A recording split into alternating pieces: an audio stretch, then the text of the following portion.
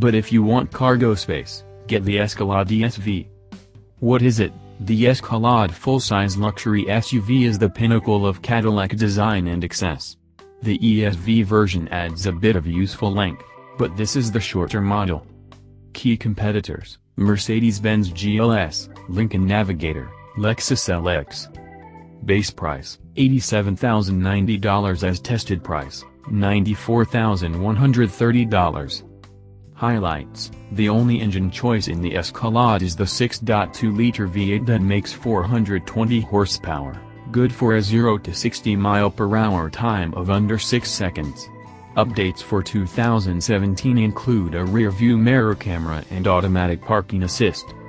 2017 Cadillac Escalade Interior The Escalade's throttle tip-in is probably too much, and it doesn't have any problems getting up to barely legal speeds.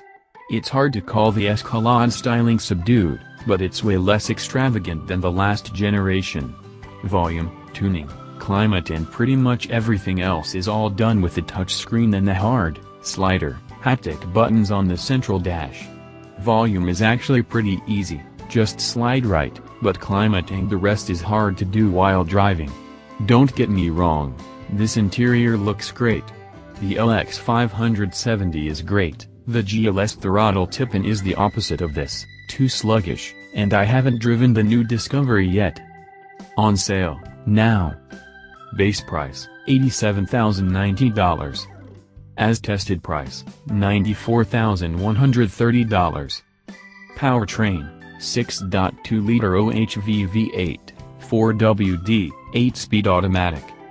Output, 420 horsepower at 5,600 revolutions per minute, 460 pounds to foot at 4,100 revolutions per minute. Curb weight, 5,784 pounds. Fuel economy, 15-20 17ths of a mile per gallon. EPA city slash highway slash combined. Options, Radiant package including 22-inch wheels, silver grille, Chrome exhaust tip, $2,695, Kona Brown with jet black interior, $2,000, Power Assist steps, $1,750, Dark Adriatic Blue, $595. Pros, imposing figure gets you a nice parking spot. Cons, less space than expected behind the third row.